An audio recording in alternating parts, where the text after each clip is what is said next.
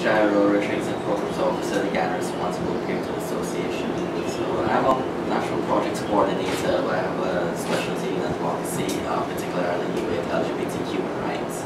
and youth, youth work and rights and how we relate in our society,